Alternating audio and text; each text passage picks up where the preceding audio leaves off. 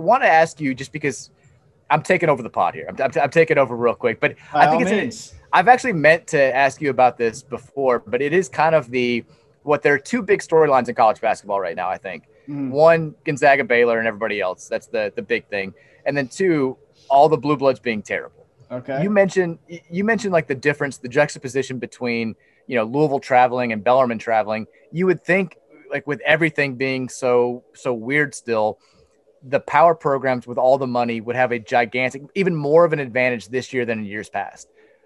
And yet we're talking about like the the best teams historically in college basketball all being bad in the same year. And and this wasn't predicted. Like Kentucky was preseason top 10, Kansas was preseason top 10, North Carolina and Duke were well thought of. Why is this happening? I, like I because I people have asked me, I've got no idea. I, I don't know if it's just a if it's a one-off deal, if it's a coincidence, if everything had been normal in the world, this still would be happening.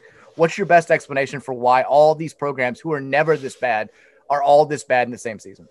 I think uh, it's probably a cliche answer, but I think it's because so many of them are relying on freshmen who did not have full full off seasons to shake some of the cobwebs, to play those preseason exhibitions that um, that Goodman always tweets out stats to about some top secret exhibition, which I always find kind of helpful. But like, think about like Carolina. Okay, they've got Garrison Brooks coming back, which what a bizarre season that uh, preseason player of the year type guy is, yeah. is having. But pretty much everyone else. I mean, there I know there's a couple of guys who are like role players who are back for them, but Caleb Love, RJ Davis. I mean, they're asking Day'Ron uh, Sharpe. They're asking young freshmen to come in and be contributors in not just supplemental roles, starting roles, key roles. Kentucky's entire team, even Keion Brooks coming back, felt like,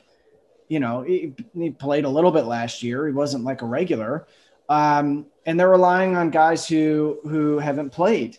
And I, I think when you look across the board at Duke, at Kentucky, I know Kansas probably is a little bit of a harder sell on this, but they they'll probably make the tournament at least, mm-hmm. and they just don't look like they have the best roster balance right now. But all of those other teams I mentioned are relying a lot on freshmen, and I I am a believer and a buyer into or a buyer into yeah I'm a believer in like whitewater rafting trips and like ropes courses and trust falls. I be- I think that actually helps. I you know I don't know about the trust fall, but like I don't I, like going to Fort Knox and doing doing a a, a um, a, a military training course for the day with your teammates.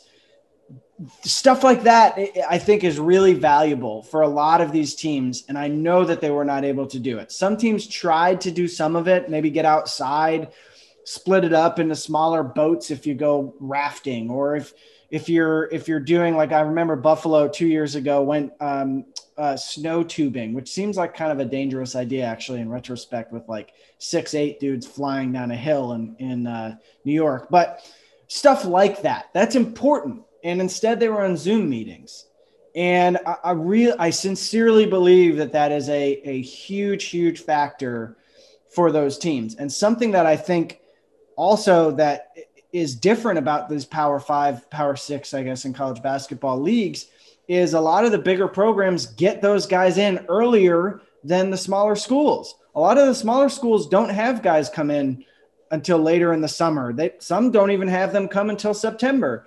But college basketball at the highest level i mean louisville i know from covering them like they're like oh we, we can't wait to get this guy in after memorial day weekend and so you get them, that's three months of summer work where they're taking classes, but like they're summer classes, you know, they're, I mean, they're, they're primarily yeah. basketball guys.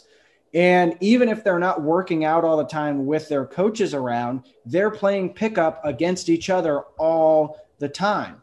And I, I, just I think that that's a huge factor in all of this. So a team like Kentucky, for example, might have worked out some of the kinks in the offseason maybe they would have built up a little more confidence in Devin Askew. Maybe they would have, uh, maybe Isaiah Jackson would have emerged earlier. And then they, and then when they play, they might beat Georgia Tech by three instead of losing by 20. and it's like, oh, that was a shaky performance, but they still won, or they lose to Notre Dame, but it was a shaky performance, but it's early and they can come back and they might beat a Richmond or something like that. So I think that's got to be a, a, huge factor. Does that seem like a cop out, or do you think that's serious?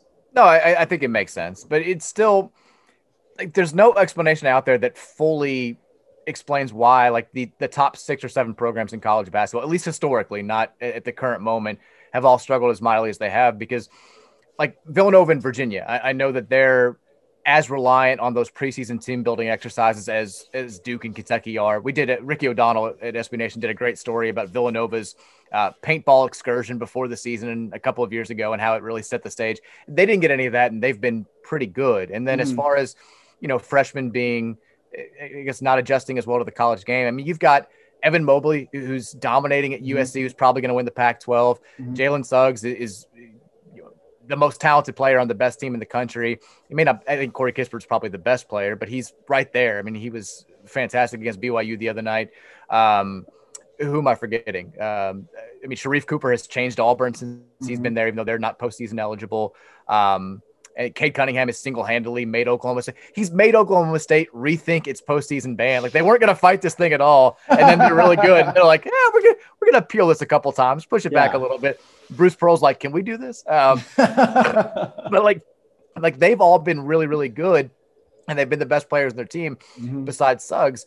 It's just it's odd to me that that Kentucky and Duke specifically can be this bad right now. I, I mean, I totally not agree. saying not saying that all this stuff could have an effect. And I think also like you know part of the allure of coming to UK is you're in a college town in Lexington that is obsessed with basketball. Like you are a walking god in that city when you know the students are all there and life is normal and you can go to to two keys rip or the other bars in lexington like i think missing out on that probably has, has played some part in it but none of it is an excuse for kentucky to be 5 and 13 right now. None of it's an excuse for duke to have a, a losing record uh, and blow games the way they have down the stretch. It all mm-hmm. is just so and i do feel kind of bad that we always lump north carolina and kansas there because like these teams make the tournament yeah. Yeah these, these teams are not on equal tiers right now. Even Michigan mm-hmm. State is like a tier below, I think UNC and Kansas. They're three and seven in the Big Ten, but still a tier ahead of probably where Duke and UK are. But just to see all of them struggle so mightily this season has been,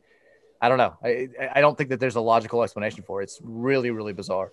I think also there's the, the recruiting classes have not been as strong the last couple of years. So the talent level is not as transcendent as it has been in the past. Like I, I really liked watching Caleb Love and RJ Davis and um, Jalen Johnson uh, and, and, all those different guys on the recruiting trail, but it just didn't feel like it was the same thought process with guys coming in who you were like immediately this guy is going to be awesome. And I, I, maybe I'm wrong on that, but I, I, just I it didn't have the same vibe as it as it's had in the past when like De'Aaron Fox and Markelle Fultz, who was good in college um, were coming through, and you're like, oh man, those guys are those guys are going to be awesome in college. It, it just doesn't. It didn't have the same feel of that for me. Now I know that that didn't stop the hype train in in, in some of these locales um, from talking about teams being loaded and blah blah blah blah. Just because that's what they're programmed to do every summer is to build up the hype train that this recruiting class is going to be awesome and they're going to be great and for good reason. They typically are. They typically yeah. are really good. So yeah, it, it is bizarre, and I, I just wonder if, like, I don't think this recruiting class coming up is particularly stalwart either. So I, I wonder if maybe the quality of of prospects is not as great. Maybe if fewer guys uh, went to the G League and, and did that contract stuff, and they figured out how to go to college and maybe we'd be talking about some more freshmen in addition to the guys you mentioned who are good. But um, but yeah, it, it's really bizarre, and I'm sure the NCAA is like, we literally are giving you this season before all of you have like three year postseason bans. Like Kansas yeah. for sure is going to get banned. Louisville for sure is going to get banned from the from the postseason.